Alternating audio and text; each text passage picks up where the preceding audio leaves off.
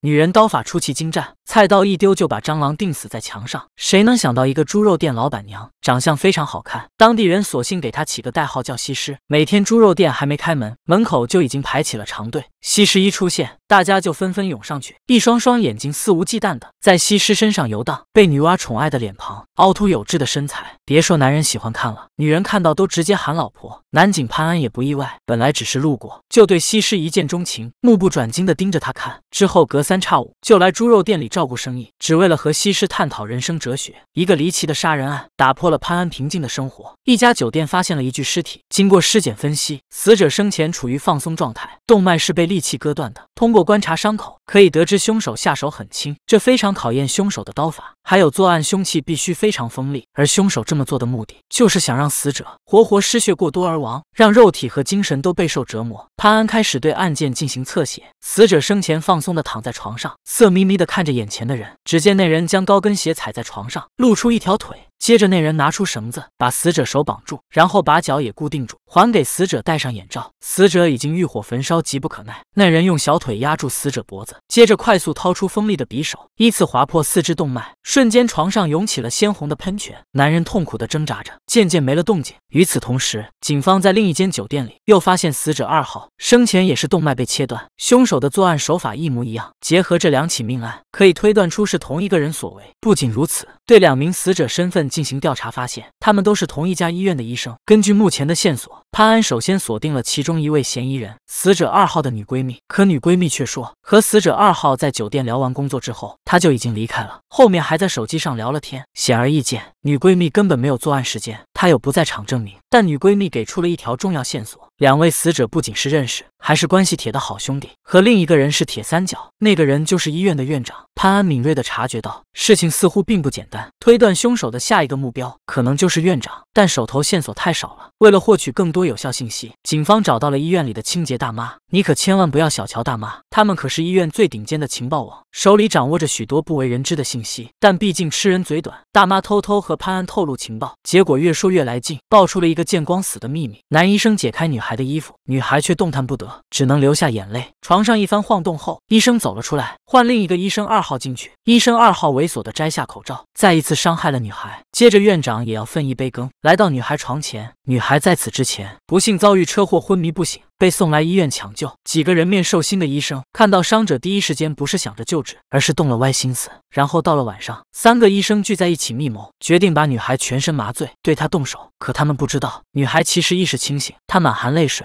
忍受这三人带给她的屈辱，还记住了这些人的声音。潘安得知这个消息，立刻从这名女孩入手。警方开始调查医院这几年来所有打过全身麻醉的女孩，经过重重筛选，终于找到了这名女孩，她就是当今顶流演员貂蝉。潘安把貂蝉传唤到审讯室，刚一靠近，就从她身上闻到奇怪的味道，这让他想起几天前他去西施猪肉店里，迎面而来一位老奶奶，她身上的味道直冲潘安天灵盖。莫非这两人有什么联系？潘安也没继续深思，而是向貂蝉提起十年前的事情。可貂蝉却神情自若，就给出了三个字：不知道。这明眼人也看得出来，他。并不想让这件事情闹得人尽皆知，还说要请律师。她是女明星，不可以抛头露面的。无奈之下，潘安只能选择从院长这边入手。院长不但不承认伤害过十年前的女孩，还表示和两名死者一点都不熟。但他神情紧张，瞎子都能感觉到他有所隐瞒。潘安见状也没打算逼问，让院长最近居家办公，能不出来就别出来。凶手应该会在近期找他。可这院长全然把潘安的话当耳边风，晚上就来到酒吧里玩耍，左拥右抱着美女们，笑容特别灿烂。这一刻，他就是阳光开朗大男孩。这可让潘安头疼的要命，赶紧也跟着来到酒吧，四处巡逻寻找可疑身影。也就在这时，看到一名戴着半张面具的女人从他身旁走过，紧接着不慎撞到了酒保，女人身上掉下一把匕首。潘安立马看出这匕首符合前几次命案的凶器特征，对女人穷追不舍。可这女人身轻如燕，动作敏捷，一个滑铲修一下逃离了现场。潘安没能跟上，只能拿着匕首来到了刀铺。从专家口中得知，这匕首一般见不到，都是专门拿来杀猪的。一说到猪，潘安就想到了西施，想来好久没见面了，忍不住想她。又来到了猪肉店里，当他看到墙上挂满的刀具，他很难不把凶手和西施联想在一起。但没有足够证据，再加上西施是他的女神，他打消了这个念头。可就在第二天，凶手再一次袭击院长，不仅没有得手，还被院长伤了大腿，怪不得院长还敢出去玩，还是有点实力的。潘安得知这个消息后，来到猪肉店里，发现西施正一瘸一拐的走着，再加上之前无意冒出的想法，他决定和西施一起吃苹果。两人还不停的眼神交流，潘安再也忍不住了，将西施扑倒在桌上，女人被压在桌子上用力反抗，可男人丝毫不给她喘息的机会，一把扯开她的裙子，发现女人大腿上缠着纱布，这也证实了男人的想法，女人就是两起命案的凶手。可潘安于心不忍，西施是他的女神，他已经迷倒在西施的石榴裙下，两人此时的氛围略显暧昧，眼神交融下，直接亲了起来。与此同时，院长被一个黑衣人带走，装进了车里，随后便失踪了。等院长再次醒来，发现自己被五花大绑在架子上，看到眼前走来的老奶奶，拼命求救。老奶奶并不理会，而是身后的黑衣人冲了过来，拔出刀将院长四肢动脉切断。不仅如此，老奶奶还拿拐杖去戳院长裆部，凑到他耳旁说了句话，这正是十年前他在貂蝉打打了麻醉后所说的话。院长还没反应过来，老奶奶就把他裤子扒了下来，转身离去。随后，一条狼狗冲了进来，对着院长。裆部直接开咬，院长惨叫声充斥着整个棚子。老奶奶走出棚子，居然把脸皮扯了下来，里面是一张年轻的脸庞。原来老奶奶就是貂蝉，她如释重负，之所以努力成为顶流，是因为想借机接触院长。经过试验，确认院长就是当年伤害她的人。等潘安赶到现场时，院长已经凉透了，可法医却表示这次的凶手是个左撇子。难道凶手不止一个人？就在潘安疑惑的时候，电视上播放着老人装的貂蝉，他想到猪肉店门口曾见过她，她身上的味道。和当时在审讯室里貂蝉的味道一模一样，他意识到貂蝉就是用这个方法避开了警方的调查，和西施接触合作消灭目标。可貂蝉如今在他国有完美的不在场证明，而西施昨晚和自己一起。也根本没有作案机会，那么只有一种可能，还有一个凶手。他赶紧和上司汇报，可上司却把他当作笑话，还嘲讽他办事没能力。无奈之下，他只能自行查案。回到猪肉店，却发现西施失踪了。破案刻不容缓，他再一次传唤貂蝉。就在和他交谈的时候，上司打断了潘安，还说领导们要求放了貂蝉，明显大家就是为了保住饭碗，不敢招惹他。这可把潘安气坏了。不久。在另一个城市又发生了相同的命案，死者是一位中间商，他专门将女性卖给黑帮，十足的恶人。潘安得知后，立刻赶往案发地点，终于在那找到了西施。西施也不隐藏了，和潘安决战。毕竟男女力量悬殊，西施被潘安打趴在地，可是潘安早已坠入爱河，他根本下不去手，也明白西施处理的都是恶人。再加上对警局领导们的失望，潘安选择了离职，与西施幸福的生活。隔天，他无意翻开西施的相册，在里面看到了西施的双胞胎妹妹，终于明白为什么。第三起命案，凶手是个左撇子了，而西施又有不在场证明，原来是妹妹出的手。可这一切已经不重要了，他已不再是警察，也支持西施他们替天行道。法律不能惩戒有权有势的恶人，只有屠夫小姐才能将他们消灭。影片中的选题很新颖，就如同这句名言：正义有着一张普洛透斯式的脸，变幻无常，随时可成不同形状，并具有极不相同的面貌。屠夫小姐以自己的方式贯彻着心中的正义，宣扬着女性与自由。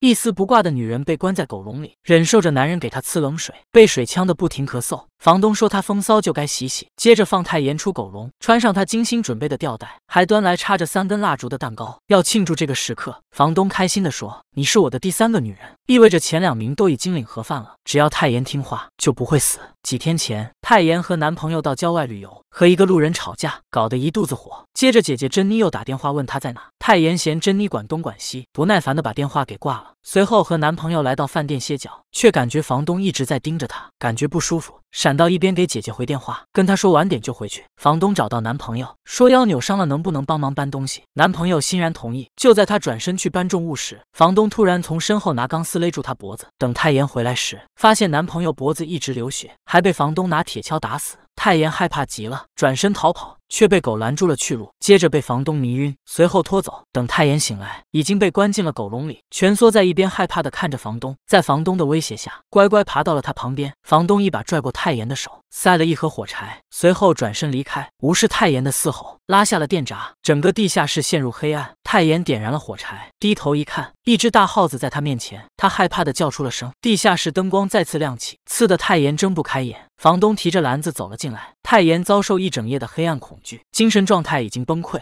房东看到他一旁的尿，笑他像条狗，让他把衣服脱了。泰妍犹豫了，房东说不脱就继续待里面，泰妍不得不从，把拉链拉开，脱下衣服，接着房东不停用冷水滋他，终于把狗笼打开，泰妍绷不住哭了出来。房东回到自己房间，换了件花衬衫，理了一下头发，接着点亮蛋糕上的蜡烛，让泰妍吹灭。然后开心的鼓掌，说泰妍是他的第三个女人。泰妍瞬间瞳孔放大，害怕的看前两根蜡烛。房东说只要听话，泰妍就可以好好的。问他感不感动，泰妍当然不敢动。房东心情大好，决定唱最拿手的歌庆祝一下，还说他因为长得丑才没当上歌手。接着他打开灯球，放入磁带，拿起了麦克风，用公鸭嗓唱起了《荷塘月色》。唱得起劲时，泰妍忍不住咳了一声。房东怒气飙升，把音乐关掉，骂泰妍嘲笑他，接着抓泰妍头发，把她扔床上，用力。掐着他脖子，还没等他喘过气，让他像狗一样趴着，随即拿起一坨奶油拍在两腿间，接着伤害了他，夸他比上一个女人好。女人被绑了起来，男人一一边戴起手套，一边说他这条狗居然咬主人。说完，拿起钳子，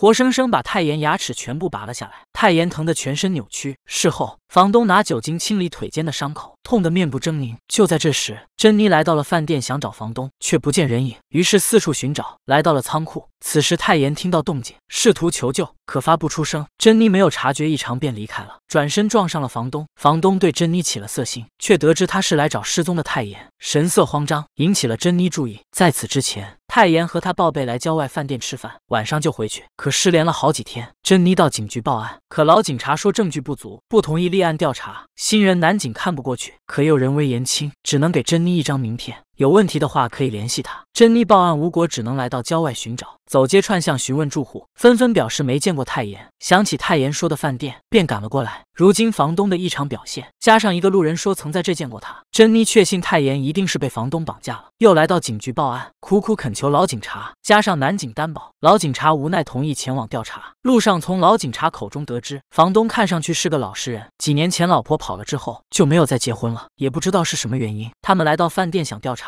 房东一脸不情愿，但不能拒绝。男警和珍妮进入仓库后，发现了地下室，却没看见地上有颗牙齿。一无所获的珍妮只能和警察离开。殊不知，泰妍就被房东放在仓库旁边的绞肉机里。房东按下开关，绞肉机开始运作。泰妍痛苦不堪，一点点被卷了进去，鲜血不停向四处喷溅。事后被做成饲料，撒给了鸡吃下。珍妮准备起身回首尔，想着妹妹说不定已经在家等她了。就在离开时遇到了房东，显而易见，珍妮是房东的下一个的目标。房东骗他说看到了泰妍的项链，项链现在在家里。珍妮立刻跟着房东回去。第二天，男警接到电话，对方称在一辆被砸的银色轿车里。发现了他的名片，所以联系了他。此时路人再次登场，说看到珍妮并没有回首尔。男警得知珍妮可能出事，立刻前往查看轿车，确认是珍妮的车。目击证人说开车的是个男人。男警察觉不对劲，夜晚来到了仓库外，拿着手电筒走了进去。而珍妮此时嘴巴被胶带粘着，手脚被绳子束缚，无法挣脱。房东走了过来，撕开了胶带。珍妮问泰妍在哪，房东拿出了泰妍的项链，笑嘻嘻地说泰妍已经被他杀了。珍妮悲痛欲绝，扬言要杀了房东。房东嫌他吵。又把他嘴粘上，说对珍妮一见钟情，随即开始对珍妮动手动脚。男人把手伸进女人衣服抚摸，说她比死掉的妹妹更柔软细腻。珍妮手脚被束缚，无法动弹，她恨不得把房东碎尸万段。被囚禁了三千六百五十天的珍妮没有上过厕所，房东表示敬佩，让珍妮别抵抗了，和他一起幸福的生活。珍妮不为所动。接着，房东闻了一下她身上的味道，都发臭了，让她明天洗个澡换新衣服。到了明天，珍妮就会求着房东别离开她。房东拍了拍珍妮的脸。转身准备离开，珍妮眼神突然发狠，悄悄松开绳子，结果房东停了下来，他赶紧停下动作。房东回头乐呵呵地说：“给珍妮准备了紫色的内衣。”说完转身离开。珍妮迅速松开绳子，从床上坐起身来，拿起准备好的小刀，冲向房东。房东立马闪躲，刀扎穿了他的手，结果力量悬殊，房东抓着珍妮头，把她扔到架子上。珍妮痛得起不来，房东把刀拔下，挑衅珍妮这种烂货杀不死她，接着不停用脚踹她肚子，珍妮痛得晕了过去。房东气愤地离开地下室，发现狗死了，回头一看是邻居。邻居说地下室发生的他都看见了。原来在此之前，珍妮曾向邻居打听过妹妹下落，邻居记住了她的车。结果晚上看见房东开走了他的车，就知道房东有不可告人的秘密，不想被告发的话，就把他那块升值的地产交出来。而且邻居已经准备好了所有文件，就等房东乖乖签字。房东签完后却没有给邻居，而是要和他做交易，条件就是把珍妮杀了。房东带着邻居绕到仓库后面，被一旁的男警发。现男警赶紧走进仓库，发现门被上锁锁，他只能找工具撬开。这时邻居在点烟，房东悄悄拿起菜刀，邻居一回头便被砍死，刀直接插在了脑门上。而男警顺利撬开了门，悄悄走了进去，发现了珍妮，赶紧给她松绑。珍妮崩溃的说：“房东杀了妹妹。”回头一看，房东拿着斧头走了进来，男警还没来得及掏枪，便被房东砍中了头颅，血流不止，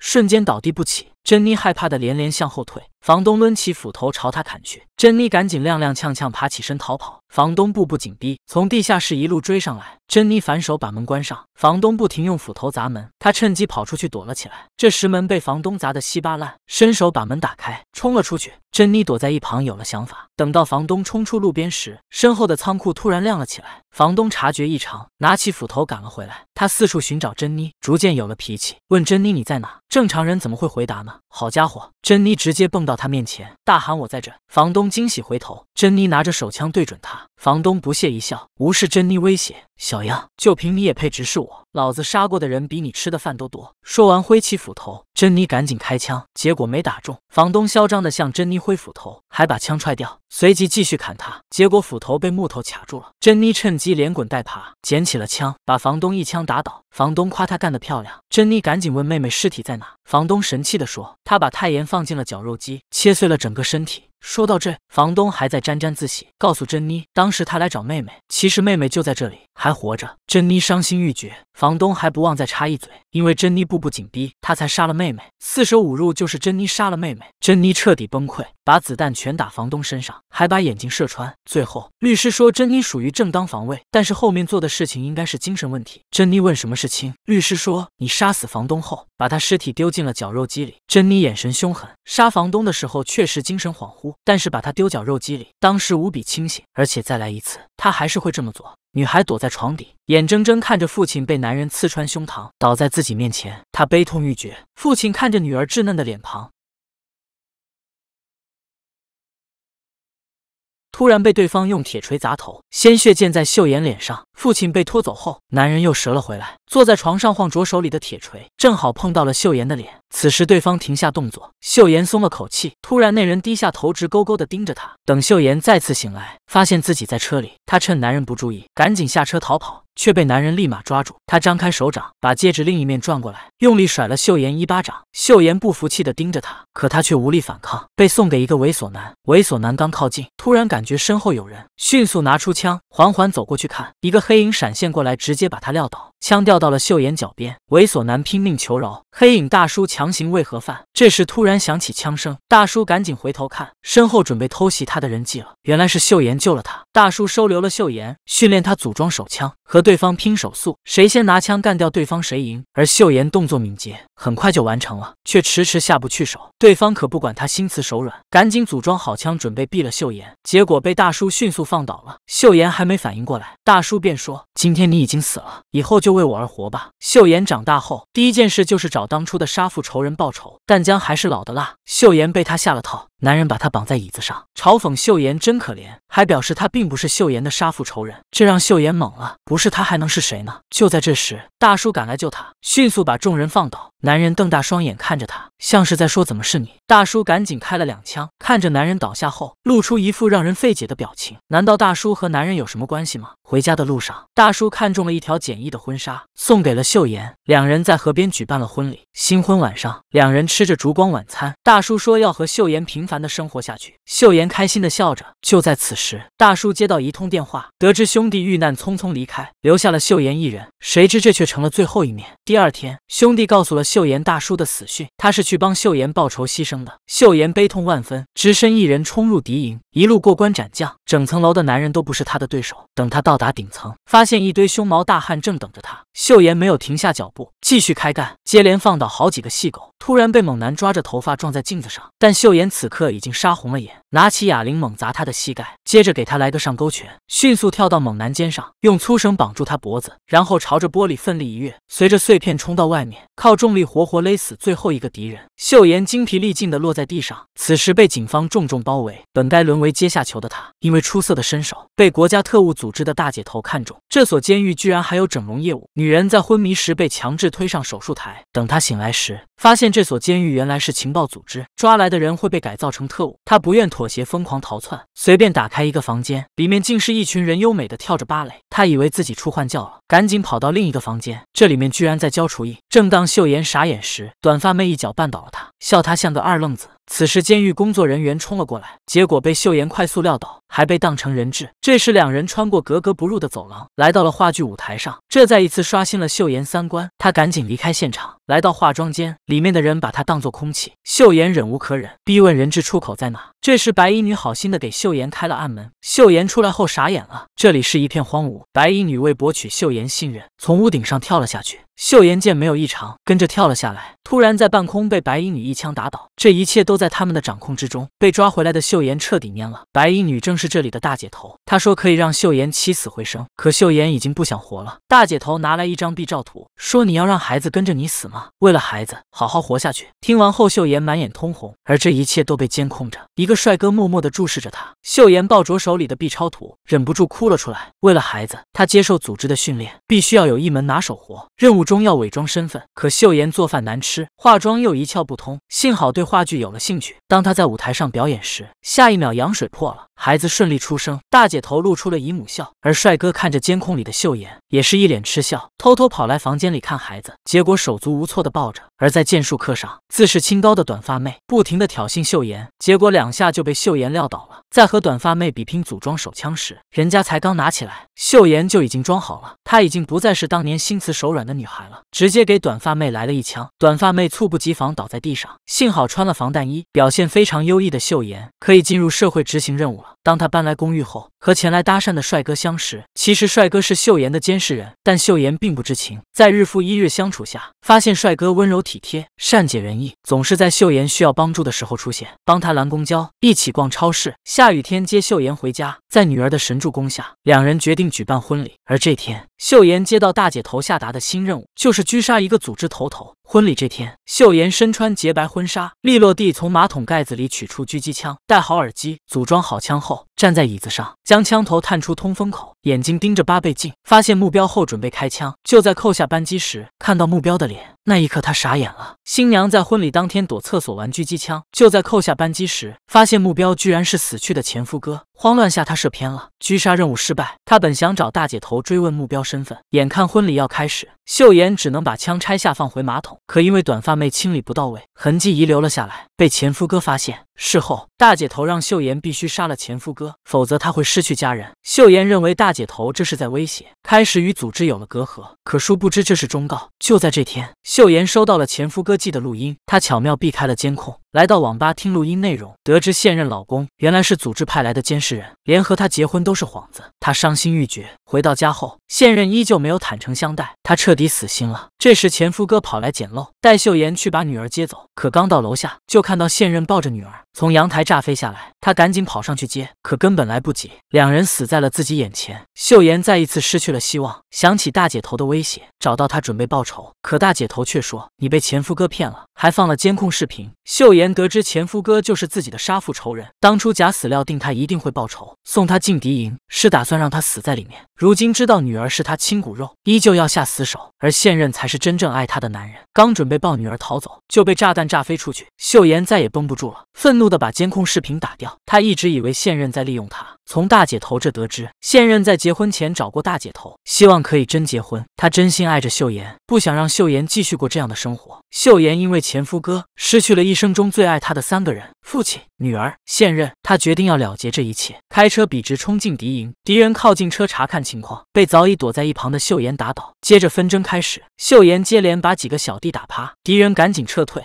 他灵活的更换弹夹，追了上去，找到了罪魁祸首前夫哥。秀妍还是抱有一丝希望，问他有没有爱过。前夫哥无奈回答。爱过，但是我杀了你吧，所以不能继续爱了。秀妍听后犹豫了，可前夫哥笑了，你就是想听这样的话对吧？其实你怎么样都无所谓，反正是我培养出来的棋子。一直被耍的秀妍彻底怒了，和前夫哥决裂，厮杀起来。两人实力相当不分伯仲。秀妍抱着前夫哥一跃冲向玻璃，两人齐刷刷掉下来，抓着空调外机。秀妍一看，你什么档次？和我抓一样的东西！抓着前夫哥摔在了车上。前夫哥见他凶得要命，赶紧逃跑。秀妍见状，一瘸一拐冲了上去，结果被车撞倒。前夫哥见状，开着公交车撵了过来。秀妍赶紧滚到一边，抢了辆车，把挡风玻璃掀掉，拿水瓶压着油门，然后坐在车头打方向盘，不要命的追公交车，提着斧头扑了上去。这可把一车老爷们吓坏了。秀妍一脚蹬碎玻璃，冲了进去，和前夫哥又打了起来。过来劝架的都被丢了出去，还把司机给打倒了。下一秒，公交车翻了过来，摔在地上。秀妍就像打不死的小强一样，又站了起来。前夫哥累坏了，坐在一边，哼起了杀秀妍爸爸时的歌。秀妍满含泪水，使出浑身力气，抡起斧头，把前夫哥送下地狱。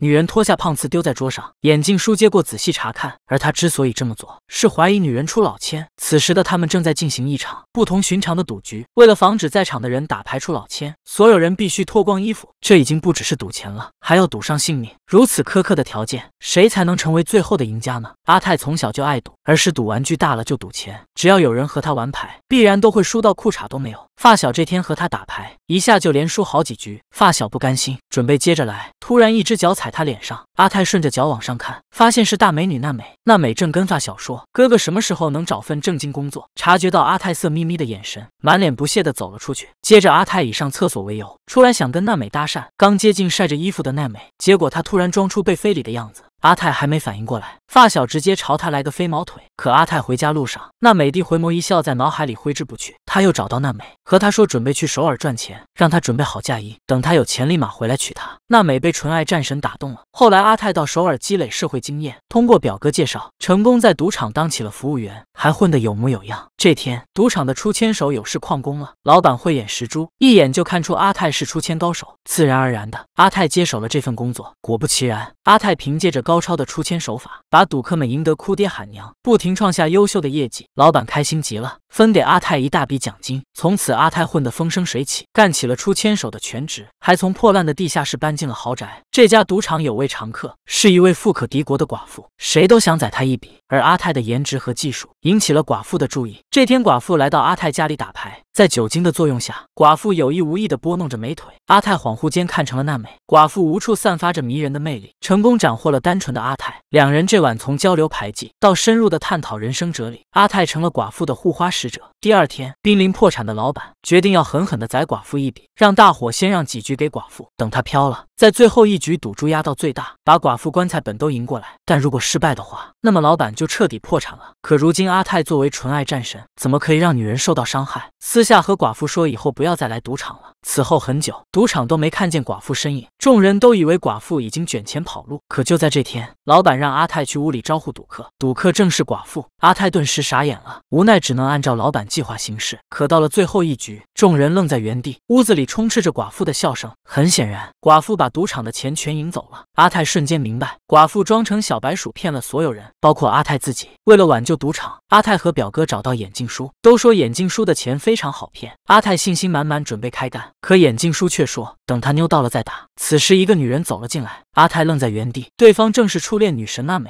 看着眼镜叔明目张胆的揩油，阿泰心里五味杂陈。眼前人已非彼时人，他把火气全撒眼镜叔上，眼镜叔接着疯狂连跪。殊不知阿泰已经入套，眼镜叔让娜美去开窗户。阿泰看着娜美胖次挪不开眼，娜美发觉后说：“偷看女人胖次会遭报应的。”果然，在接下来局势逆转，阿泰不断连跪，输了五千亿美元，被迫签了欠条。夜晚，阿泰突然被一群人抓住，不仅被暴打一顿，手还被车门猛夹变形。等阿泰醒来，发现自己在昏暗的地下室里，低头一看，肾被挖了一个，脚还被铐住了。眼镜叔走了进来，嚣张的说：“下个月还不上钱，就把阿泰眼角膜给取下来。”一夜跌入谷底的阿泰，沦落到吃别人的剩饭，样子非常的狼狈。而此时，一个人影接近，来者居然是娜美，并且在娜美口中得知，他变得如此狼狈，都是表哥害的。女人的胖次不能偷看，不然一定会遭报应。偷看胖次的阿泰。如今和流浪狗一样，就是因为表哥和眼镜叔串通一气，背叛了他，而自己像个白痴，对表哥深信不疑。从娜美口中得知一切的他，气得把桌上的碗都掀掉了，起身就要去找表哥算账。那美把他拦下，冲动只会让他连命都没了，给了他一大袋钱，让他离开这个是非之地。本来以出千为傲的阿泰，在一个小赌场里，出千却立刻被无名小卒抓住。就在此时，一个大叔帮他解围，阿泰立马觉得大叔好牛，赶紧追上大叔要拜他为师。还没等大叔反应过来，刚刚的赌客看见两人待一块，咬死他们是一伙的出老千。大叔百口莫辩，阿泰还故意放五百万在大叔手里。坐实众人猜想，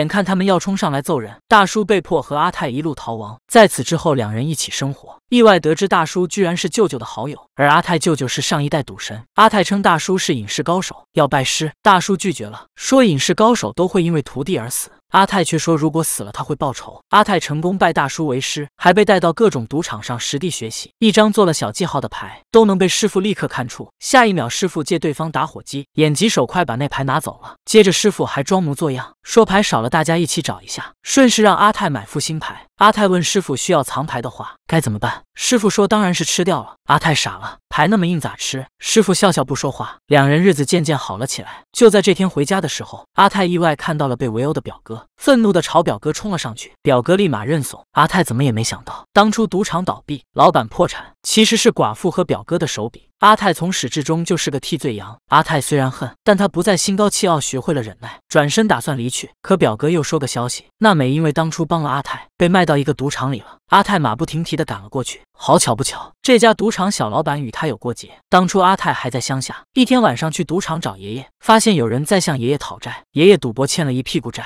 但根本没钱还。阿泰为了保护爷爷，跟小老板打了起来，结果却意外刺伤了他。小老板一眼就认出了阿泰，拿起一把刀插在桌子上，赢了就能带那美走，但前提是要砍手，输了的话自行砍掉自己的手。赌局正式开始。阿泰回想起师傅的话，那天师傅教他如何通过对方眼睛判断对方的心理，看到喜欢的东西瞳孔。会扩张，反之会缩小。此时阿泰不看牌，只看那美的眼睛，手不停地扫过不同的牌。当他停在一张牌时，看到娜美的瞳孔放大，便毫不犹豫抽出这张牌。最后阿泰赢了。接着他拿起了刀，娜美已经做好准备，闭上眼睛。下一秒，阿泰把刀插在自己手上。小老板傻了。阿泰表示，小老板又没说赢了砍谁的手。结果小老板有点不服气，阿泰又把手上插的刀用力地往下按，这可把娜美心疼坏了，赶紧撕下裙角给阿泰包扎。接着阿泰迅速夺走。娜美的卖身契，两人把纸烧了，帅气地点了烟。小老板更不服气了，又说还有五十亿利息没给。这这时师傅走了进来，扔下一百亿，还说剩下的不用找了。带阿泰、娜美离开了现场。师傅告诉阿泰，小老板是赌神的孙子，师傅断掉的手就是赌神砍掉的，劝阿泰戒赌，不然只能祈祷别碰到赌神。晚上，娜美和阿泰说起了往事。当时他去赌场找哥哥，结果被眼镜叔看到，起了歪心思，给哥哥下套欠一屁股债，骗娜美替哥哥还钱的话，就去赌场上班抵债。结果眼镜叔在他水里下药，等娜美醒来，已经没了清白，被迫成为了眼镜叔出老千的工具人。而哥哥没能报仇成功，被抓去吃牢饭。纯爱战神得知后满眼心疼，表示会爱娜美一辈子。两人兜兜转转，终于在一起了。这天，两人和师傅一起开心的逛街，期待着未来的种种美好。可眼镜叔的打手打破了他们的幻想，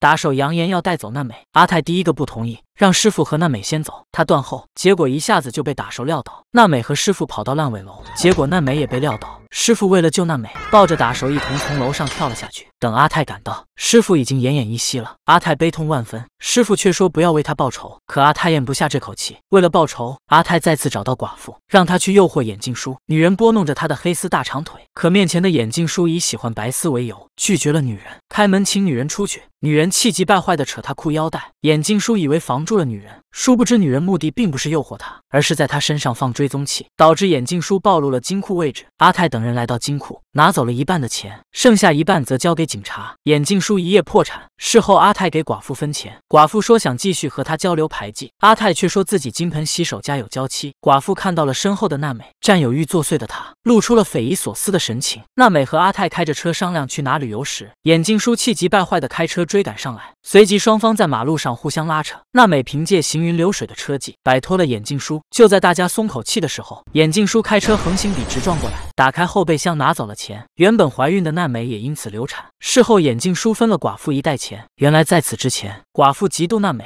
和眼镜叔联手。事成之后，又摆了眼镜叔一道，和小老板带着钱跑了。接着，寡妇被小老板摆了一道。等眼镜叔醒来，发现自己被丢在了垃圾场。准备跑路的寡妇被眼镜叔拦住了去路。小老板提着钱找到赌神，可赌神无视了钱，拿刀划开行李箱。前脚刚发现了阿泰提前放的追踪器，后脚阿泰就带着出狱的发小找到赌神。此时，眼镜叔也赶到现场，都是为了拿回那箱钱。赌神来了兴致，既然在他的地盘，那就通过打牌，赢的人拿钱走。很快，一群出老千高手坐到了一张桌上。眼镜叔表示，为了防止出老千，大家都要坦诚相见。寡妇带了很多副牌，表示没几局要换一副牌。赌神表示，谁出千被抓到就非掉手。赌局开始，所有人都只穿着贴身衣物。几局下来，眼镜叔一直处于优势。此时，寡妇向阿泰暗示注意眼镜叔的眼睛。阿泰想起了师傅的话，老千的眼睛只要想看牌，就一定能看到。下一秒，果然看出牌有问题。赌神也早有察觉，直接让手下把带牌来的寡妇拖拖小黑屋。随后，里面传来了惨叫声。接下来上了新牌，赌局继续。赌神挑衅的说了句：“阿泰师傅的手就是被他废掉的。”当时他师傅还吓尿了。听到师傅被羞辱，阿泰坐不住了。新的一局轮到阿泰发牌，他开始出老千，给自己留了一张牌。赌神都看在眼里。接着，阿泰让娜美帮他点烟，手顺势放在了娜美臀下。赌神迅速用酒杯扣住阿泰的牌，用自己的命和全部身家赌阿泰的牌是对时。眼镜叔也跟着赌上命和所有钱，赌娜美胖次里有牌。此时，影帝阿泰从紧张到神情自若，挑衅赌神说：“当年也是这样的招数，导致赌神把自己的手做没了。”赌神摘下墨镜，才发现阿泰长得像上一代赌神。接着，阿泰掀开牌。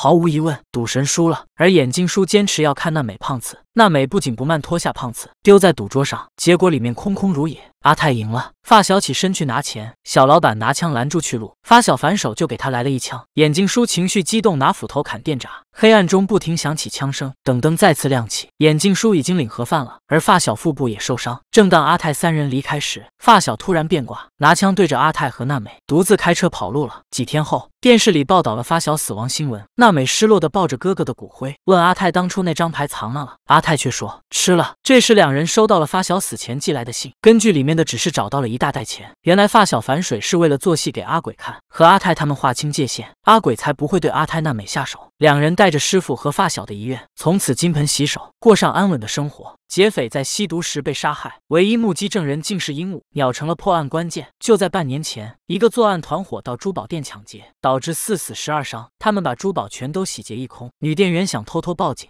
却被一号劫匪发现，女店员腰部撞到尖角，还被一号猛踢伤口。二号看不下去，连忙阻拦，结果暴露了窃听器。二号原来是警察卧底，团伙老大汪哥无视外面警察警告，直接把二号一枪打死。汪哥主动暴露相貌，与警察交锋，结果店里一个老人家被吓到，心脏病发晕了过去。汪哥眼疾手快，丢了几个烟雾弹，劫匪们混入人质里，成功脱身。如今这起凶杀案，死者是在吸毒的时候被凶手一刀割喉，所有珠宝也被凶手带走了。警方推断，凶手应该是汪哥，因为在此之前，一个外卖小哥路过案发现场，他听到求救声，开门一看。发现地上是一号尸体，求救声是旁边的鹦鹉发出的。正当他要报警，就被人打晕过去。打他的人正是汪哥，而汪哥行凶应该是因为不满分赃结果，对一号痛下杀手。团伙里其余两名劫匪应该会和一号一样的下场。可唯一目击证人鹦鹉否认了凶手是汪哥。男警呆头正在一本正经的询问鹦鹉，呆头曾在案发现场逗鹦鹉，还不小心和尸体亲密接触，上司脸都黑了，说气话让呆头给目击证鸟做笔录。没想到呆头还认真了，对鹦鹉的回答深信。不疑。如果汪哥不是凶手，谁还有作案动机呢？呆头开始进行调查，发现有嫌疑的不止汪哥。牛肉店老板抢劫案发时就在现场，他的母亲因为惊吓过度，心脏病发身亡。而珠宝店的保安也有作案动机，他和女店员是夫妻。当时一号将女店员撞到尖角，还不断踹伤口，导致下半身永久瘫痪。保安想去救却被制服，但汪哥目前仍然嫌疑最大，警方无法找到他，因为他找了个警方意想不到的地方。他在一栋老旧的楼里租了间房，包租婆有弱视症。看不清他长相，其他租客都是老家伙，没有人会注意到汪哥是劫匪。可汪哥并没有杀一号，他赶到现场时，一号已经死了，珠宝也不见了。他比任何人都想抓住凶手，于是他找到了呆头。呆头见势不妙，想假装没看见，结果汪哥该配合呆头演出的，他演视而不见，直接把呆头干趴在地。但他却没杀呆头，留下一句他不是凶手，便转身离开了。接着汪哥找到其余的绑匪，确认了他们没有杀害一号的动机。看到三号的老婆快要生了，可是没钱，汪哥承诺一定会夺回珠宝。前脚刚离开，下一秒三号就被炸了。汪哥赶紧回去，发现三号当场死亡。呆头赶到现场时，发现汪哥正在救三号老婆，成功救下人后，汪哥再次溜了。呆头经过这件事，更加确定汪哥不是凶手，不然没理由去救人。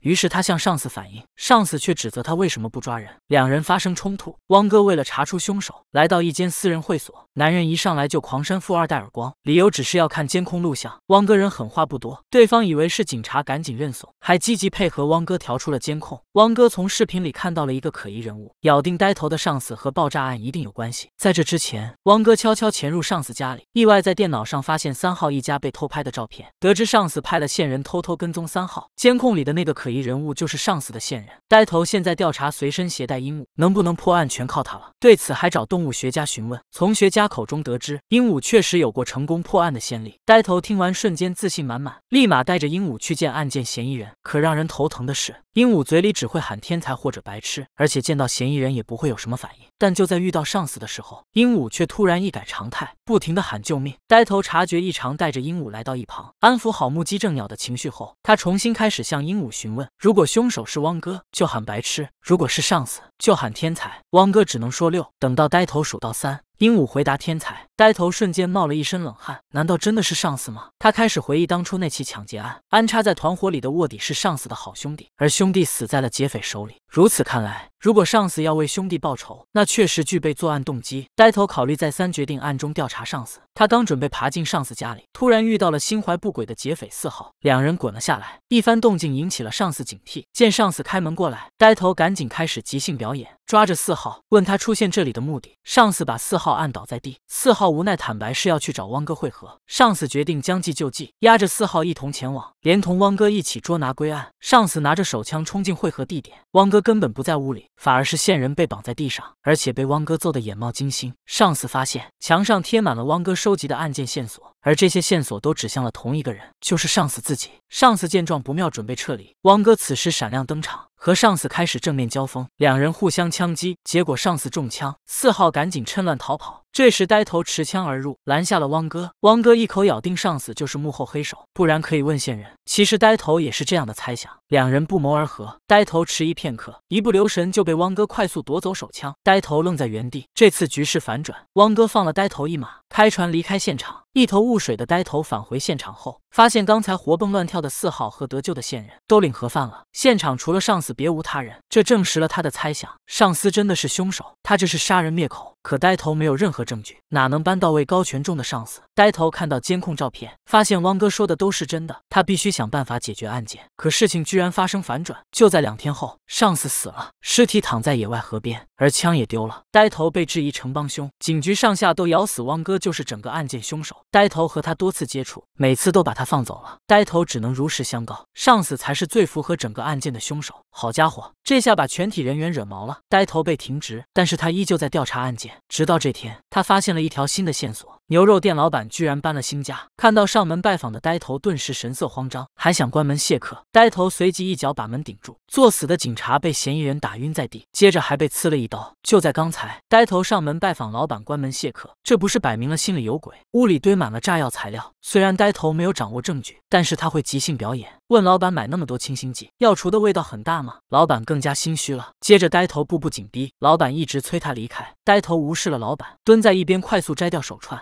假装在老板家里捡到上司手串。老板彻底慌了。呆头继续推理，说老板炸了三号，接着把上司给杀了。老板发现自己暴露，直接拿刀砍向呆头。呆头措手不及，和老板扭打起来，不慎被打晕在地，还被刺了一刀。呆头赶紧挣脱，将老板推倒在地。不料老板装晕，突然偷袭他，又被老板砍了。两刀，千钧一发之际，搭档赶来击毙了老板，呆头才没领到盒饭。之后住院时，警方已经在老板家里找到了所有案件证据，目前已经确定了真凶就是老板，上司没有嫌疑。可事情真的就是这样了吗？出院的呆头来学家这接鹦鹉，通过学家得知，鹦鹉曾经吞了一颗蓝宝石，现在已经取出来了。呆头发现蓝宝石和女店员的戒指是情侣款，他意识到凶手不止一个，再次找到了女店员。他拿出蓝宝石开始推理，杀死一号的凶手是女店员老公，也就是保。安，并且把珠宝偷走了，没注意戒指上的蓝宝石掉了。鹦鹉在保安走后把宝石吞了，而鹦鹉有次反常喊救命的原因，它并不是看见了上司，而是保安。女店员慌了，想要离开，呆头拦住了他，接着推理。所有嫌疑人都是凶手，包括上司。他们有着自己的仇恨，组成了复仇者同盟。接着利用上司的职务便利，联手完成连环命案。上司发现事情超出掌控范围，老板的炸药火力太猛，炸死了无辜路人。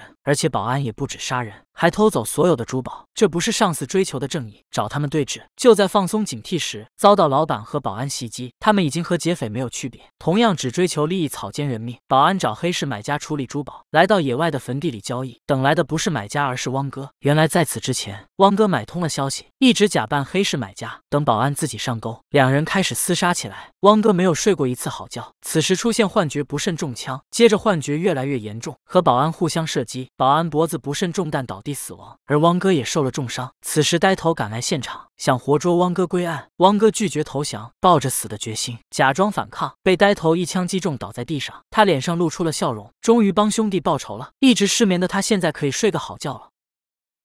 死不瞑目的女士被放在公园长椅上，视线竟对着一朵玫瑰花。侦探将花拔起，小心翻开泥土，瞬间被吓了一跳，里面居然埋着死者的舌头，而死者是被铅笔捅死的。这是一起连环命案，凶手作案手法花里胡哨，甚至在每个作案现场都故意留下线索，而每个死者之间并不相关，仿佛凶手是随机作案。但真的是这样吗？在这之前，已经出现三名死者，第一位死者是个独居大叔，被凶手捅了三百刀，刀都被捅弯了，而且没有指纹。你能想象凶手是何等凶残吗？而现场有一封信，是以死者老婆视角写的，因为老公出轨，就把他杀了，然后自己也不活了。按照信的内容，警方却调查出死者是个老光棍，毋庸置疑，这信是凶手用来转移视线。还没破案，第二位死者就出现了，死者是名女性，判定她是半夜回家路上被杀害，接着被凶手抛尸到桥底，下体被木棍破坏，木棍同样没有指纹。通过调查，女死者生前从事风俗行业，侦探还没搞清楚凶手作案动机，又出现了第三位死者，这次被杀的是个放高利贷的小赤佬，和女死者一样是在半夜被尾随，然后被硬物砸头而死。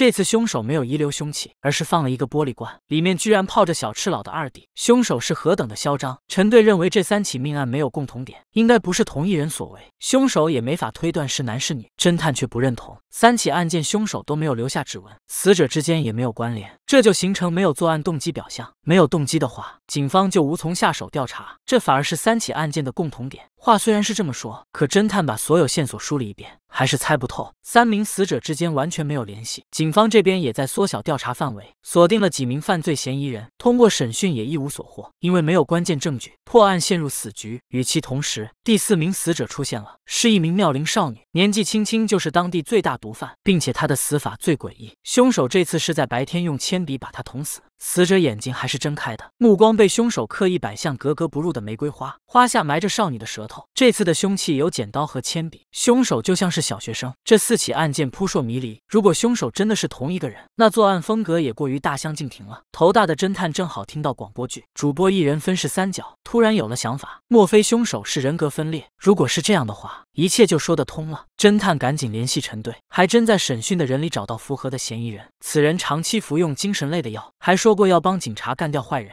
侦探立马暗中观察他，正好看见此人在发病，疯子要杀人质，侦探却拿出了玩具枪营救。这波骚操作，疯子看了都说牛。侦探本想刺激疯子，反向救下人质，好家伙，结果疯子不吃他这套，准备给人质来一刀。侦探赶紧说刀太钝，砍不死他，枪才管用，还把枪给了疯子。疯子迟疑的丢掉刀，接过枪，就在扣下扳机时，侦探立刻制服了他，随即审讯，但没有证据证明他是连环命案的凶手，只能把他送进精神病院。案件陷入僵局。就在这时，公园谋杀案居然有目击证人，可证人记忆力不好，当面指证嫌疑人时，在三号和五号之中飘忽不定。但五号子阳嫌疑更大。子阳称他案发时在睡觉，家里人可以作证。可警方通过调查，他并没有和家人居住，因为他是孤儿，唯一的亲人姐姐也很久没见了，他的不在场证明不成立。侦探半夜偷偷跟踪子阳，可在半路被人袭击，一辆摩托车疯狂追着他，侦探灵活躲闪到一边，准备喊陈队支援，结果对方开摩托笔直冲了过来，还翻车了。侦探上前查看身份，居然是一个警察。他坦白是陈队的上司派他来的，上司一直反感侦探插手案件，派他来吓唬侦探，让侦探知难而退。看来侦探这边不是凶手，可陈队却真的被凶手袭击了。就在陈队回家时，一辆货车笔直冲过来，把他撞飞。幸亏陈队出了名刀，没被撞死。可货车迟迟没有离开，他赶紧闭眼装死。对方没有再撵过来，陈队才得以活下来。侦探得知陈队被袭击，赶紧跑来医院，误以为这次又是上司的手笔，差点就要冲上去揍上司。上司无语了，侦探的脑子就这么，他就算和陈队有矛盾，也不至于要了他的命吧？那个人真的是个疯子，居然敢袭警！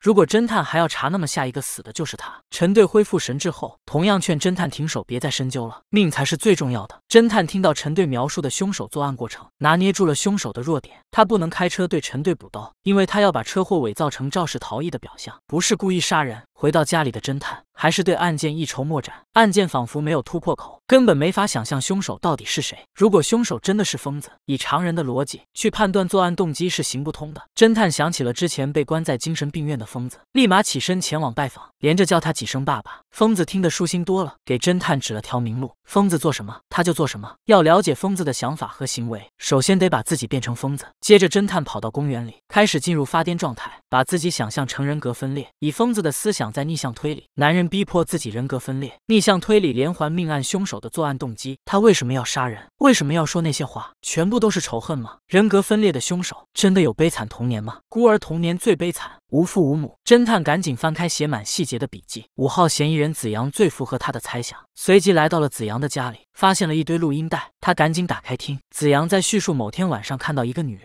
紧接着女人的惨叫声充斥着侦探耳朵。之后故事进入下一篇，又出现了男人的惨叫。声，子阳不仅把这些人都杀害，还录下了整个作案过程，以故事解说的口吻做成广播剧。在他的世界里，他就是嫉恶如仇的英雄。侦探和陈队是假警察，可他为什么要持续杀人，还要录下来做广播剧呢？侦探找到了子阳的姐姐，姐姐说已经十几年没和弟弟相见了。得知子阳是连环命案凶手后，姐姐坦白了子阳的真实身世。他其实不是子阳姐姐，当年他爸爸出轨，妈妈和爸爸同归于尽了，导致他成了孤儿。他还年幼，却在桥下被坏人强了，不幸。怀孕生下了子阳，为了隐瞒子阳身世，他骗子阳说他是孤儿，还以邻家姐姐的身份陪伴他长大。可随着时间的推移，他发现子阳对他的感情越来越奇怪，子阳真的爱上了他。他谈个恋爱，子阳就会非常暴躁，无法控制自己情绪。会出手伤人。为了及时止损，他把真实身世告诉了子阳，她是子阳的妈妈。从那之后，两人再也没有相见，因为一个谎言，只是一个谎言，便毁掉了子阳的一生。侦探听完，终于明白了，子阳的连环命案一开始就不是随机杀人，每个死者对应着真实身世里的不同人物。第一个死者好色大叔，对应着他的爷爷，就是因为爷爷出轨导致一系列悲剧发生。子阳把自己想象成奶奶，将大叔杀害，以奶奶的视角写下那封信。第二位死者风俗女人，对应他的妈妈，他。他则以坏人视角把女人拖行到桥下，用木棍破坏女人下体，代表着妈妈曾经受过不公的对待。第三名死者放高利贷的渣男，又对应当年强了妈妈的坏人。这次把自己想象成妈妈，把渣男二弟直接拆了下来，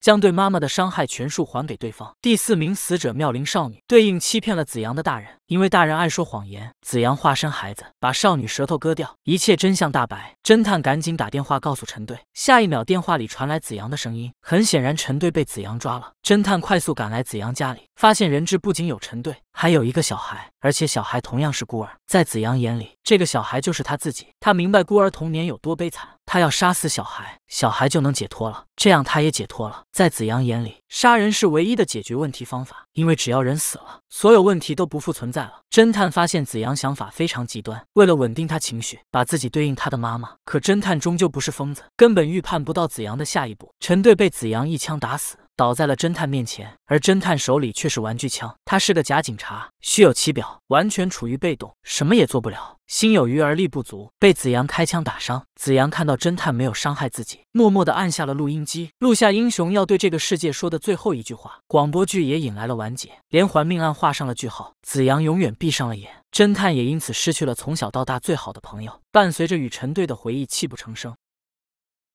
校霸挑衅怂包让他扎眼睛，下一秒。回过神的秀贤惊慌地坐在地上，校霸慌张地捂着右眼，瞬间倒地。秀贤知道自己完犊子了。就在刚刚，校霸不停揉捏秀贤，女同学想制止，反而被打。校霸转而欺负女同学，不停扇她耳光。懦弱的秀贤站了出来，因为这个女同学是他暗恋对象。校霸心领神会，当众羞辱秀贤，不停抽打她，把她干趴在地。秀贤迷迷糊糊拿起笔反抗，校霸抓着他手里的笔，从喉咙移到眼睛，疯狂挑衅他。结果秀贤还真出息了。也因此被告上法庭，他把校霸右眼弄瞎，不算正当防卫，被判了三年。秀贤刚进监狱就被狱霸盯上，被他手下强行拉去开黑。秀贤是个菜鸡，去了只有死路一条。这时嚣张的狱霸突然收敛，因为地表最强男人迎面走来。秀贤发现了一线生机，立马去抱住李维大腿，向他求救。谁能想到高冷的李维居然出手相助，无视狱霸带秀贤离开。狱霸可就来气了，开始挑衅李维，两拳都没打到他，反而被一巴掌扇的脑瓜嗡嗡响，接着又被一拳直接干晕过去。此刻李维是秀贤的神。第二天课上，浴霸恶狠狠地盯着秀贤，这梁子是结下了。秀贤头都大了。这时有人探监，没想到居然是校霸。秀贤颤颤巍巍拿起电话对校霸道歉，校霸随即撕下眼上的纱布，是恐。怖的伤痕，他暴跳如雷，对秀贤说：“等他出来，一定会让他生不如死。”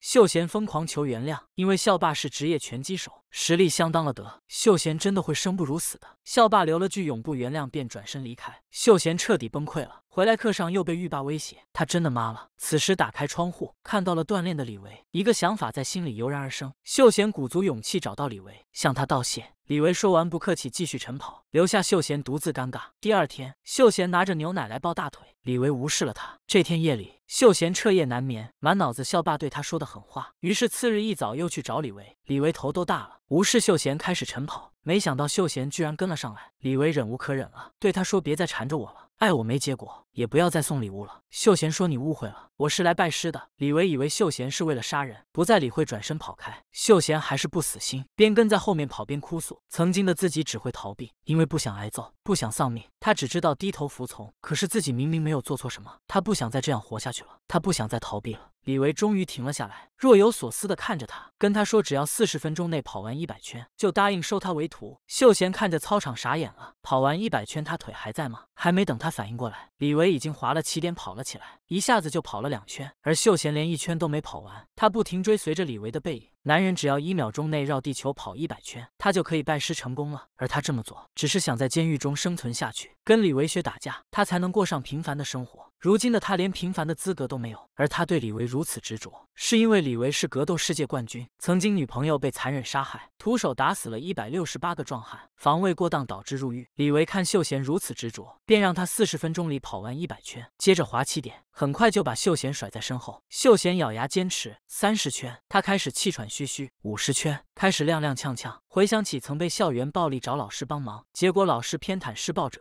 事后又被校霸疯狂踹肚子。七十圈，他开始浑身瘫软，感觉腿不是自己的。李维让他放弃，他回想起在班上被校霸欺负到尿裤子，全班在嘲笑，头被按在尿里，还被要求舔。秀贤止不住呕吐，体力不支躺在地上，想起自杀时又没有勇气，倒在沙地上痛哭，接着踉跄的爬起来，他怒吼。回想到校霸的脸，他边崩溃边奔跑一百圈。此时的他全靠意识行动，身体已经抵达极限。李维看不下去了，冲上来一把拦下了他。秀贤已经彻底失去意识了，李维被他这股疯劲折服，也被他的任性打动。监狱长和李维喝茶，感谢他的到来，监狱里安分了不少。李维借机向监狱长提要求，让秀贤成为他的室友。秀贤还没吃完饭，就被催着收拾行李搬房。当秀贤来到新宿舍后，行李都没放，就被李维要求马上做俯卧撑。结果秀贤肌无力，做的跟条蛇一样。李维都看傻眼了。引体向上更不用说了，不仅一个没做成，手还疼得要命。李维气得头疼，定了最低要求，一天增加一个引体向上。现在开始，秀贤想休息。李维让他闭嘴，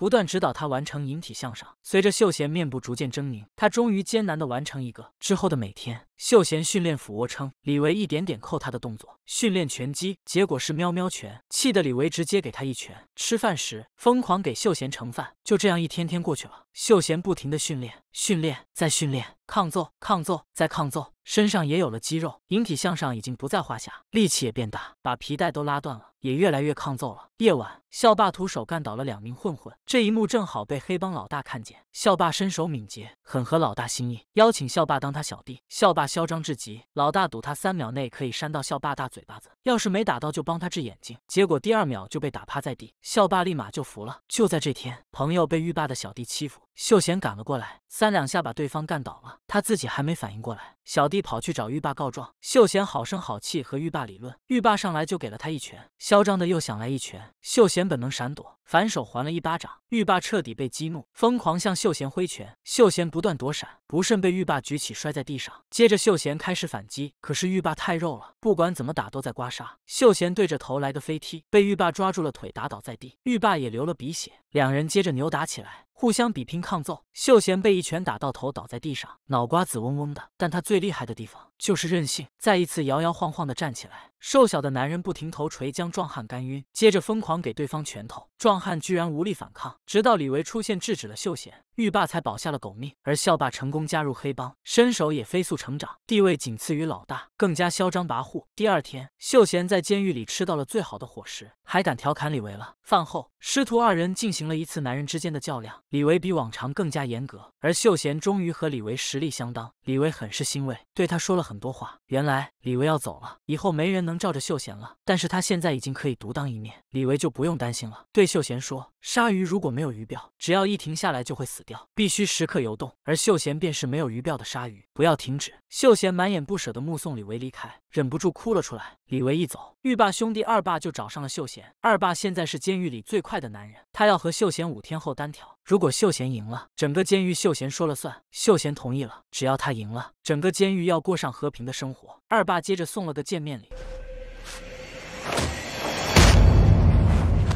混得风生水起的校霸得知秀贤成长了许多，再次找到秀贤，秀贤也不再畏惧他，主动拿起电话跟他说教，气得校霸把电话砸在桌上。秀贤回到监狱和二爸单挑，二爸一上来就一记飞踢，他的腿相当了得，还能飞檐走壁，非常猛的不断进击。秀贤也非常抗揍，被打倒了就立马站起来，又被打倒还是坚持站起来。接着两人难解难分，打了一年，秀贤不停的勒住二爸脖子，二爸只能投降。结果因为打架，秀贤被关进了禁闭室。即便如此，秀贤一刻也没有停止训练。出来后，整个监狱真的变和平了，还和狱霸、二霸成为了朋友。秀贤终于过上了平凡的生活。终于在这天，秀贤到了出狱的日子，最后一次来到和李维训练的地方。回想起和李维的美好时光，他对生活的希望是李维给的。秀贤刚出来，校霸就从车上下来了。他等了秀贤三年，是时候做个了断了。两人无需多言，纷纷进入战斗状态。校霸为了复仇，秀贤为了平凡的活着。可一开始，秀贤就处于劣势，不停挨揍，无法反击，被打得措手不及。难道三年的努力在校霸面前全都是泡沫吗？一次又一次被打倒在地，脸已经没有一处完好的地方。他回想起李维的话，不要停止。秀贤凭借惊人的韧性。再一次站了起来，他不服，明明错的不是他，为什么要承受这一切？他不会再逃避了。想起了李维教他的出拳招式，不是为了击倒使用，而是为了破皮出血。他用力的击打校霸左眼，导致校霸视力模糊，根本打不准秀贤。秀贤也不躲闪，两人开始互相打脸，一个是脆皮，一个是纯肉。校霸渐渐抗不住了，最后秀贤使出浑身力气挥出一拳，校霸怂了，秀贤一松手，校霸就瘫倒在地。最后，这个从菜鸡蜕变成战士的男人，走向了诗和远方。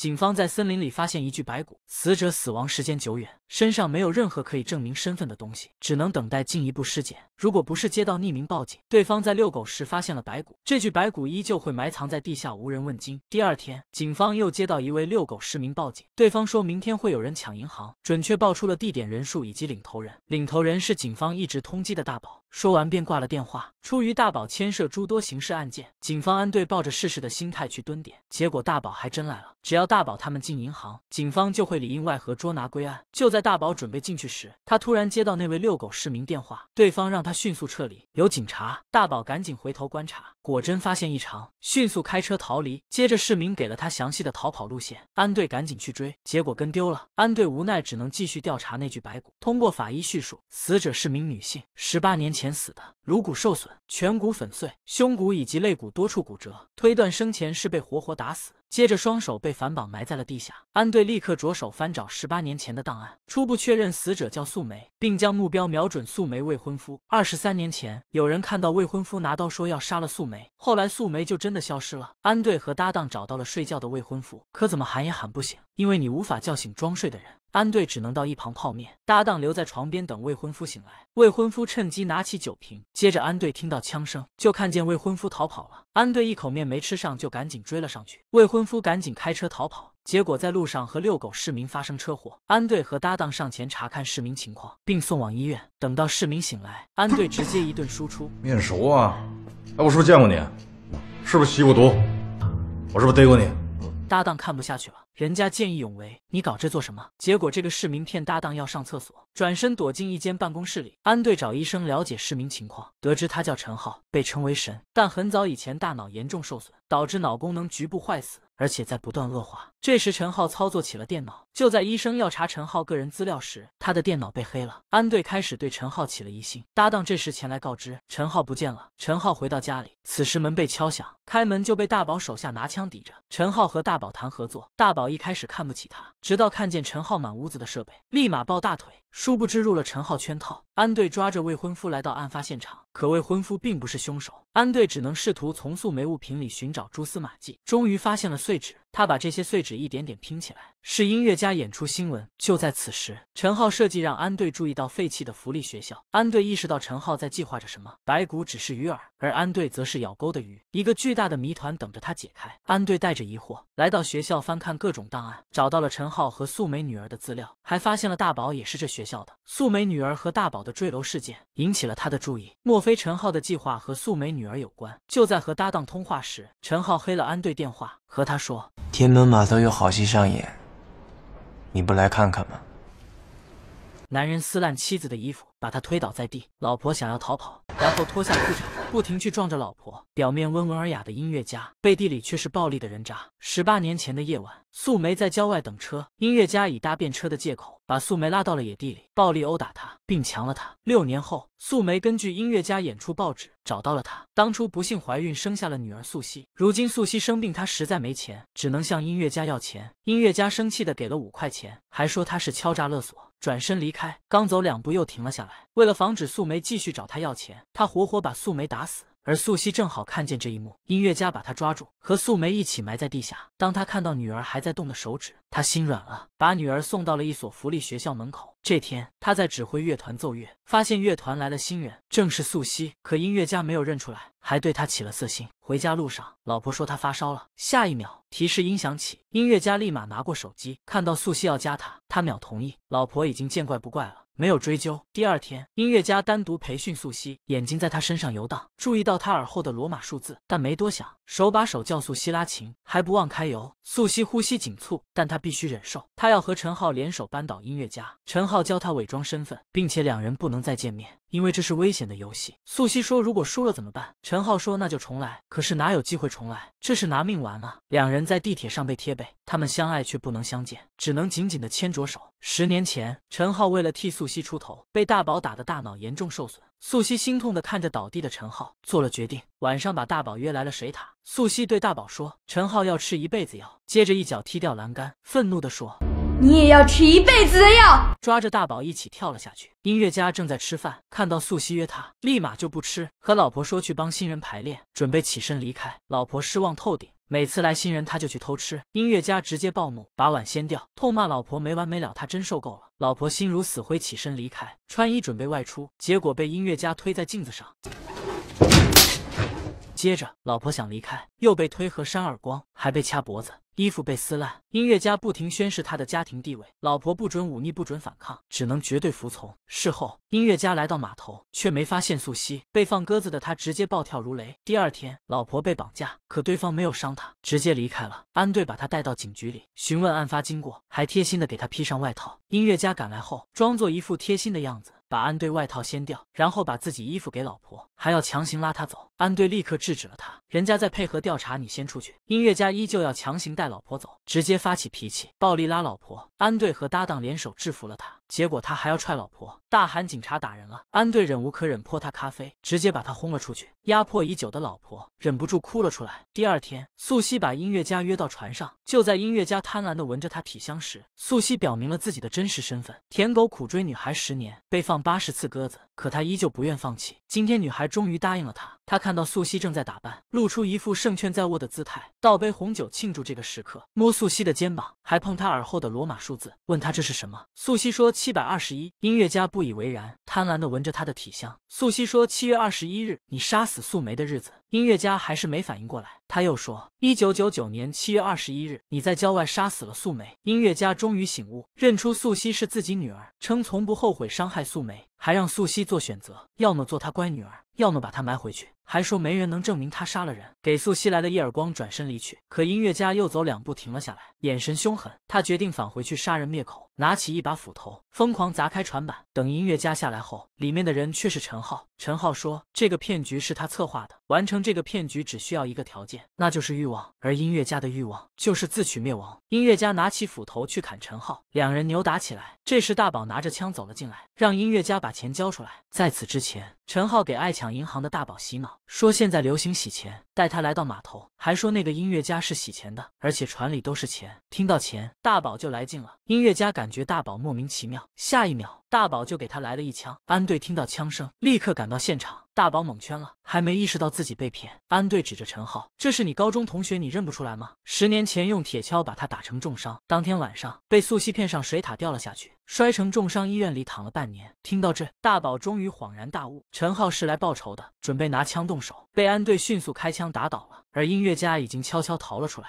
陈浩立马抓住了他，两人再次扭打起来。陈浩像是八爪鱼，甩都甩不掉。原来他放了摄像头，把音乐家的一言一行都录下来了。这就是证据。安队与此同时和大宝打了起来，被大宝连捅几刀。安队赶紧开枪把他击杀。陈浩因为病情加重，不敌音乐家，被打成重伤。安队捂着伤口赶来，拿了块木板和音乐家对峙，接着把他打趴在地。等安队找到陈浩时，陈浩已经快断气了，让安队带素汐走。可安队懵了，十年前素汐就已经死了呀。他想起医生说的话，陈浩大脑严重损伤，有时会分不清现实和想象。原来现在的素汐是陈浩的想象，而一直和音乐家联系的其实。是陈浩，也是他在船舱里揭发了音乐家。这时陈浩恢复清醒，让安队赶紧走。他早就在船上放了炸弹。安队前脚抓着音乐家跳进水里，下一秒船就爆炸了。事后，安队收到了陈浩寄给他的信，他承认一切是他做的。他找安队的原因，是因为十年前素汐和陈浩到警局报案，可素汐年纪太小，讲不清楚母亲被杀过程和凶手信息。刚入职不久的安队便草草结案。如今他把所有线索都给了安队，希望安队可以重新结案。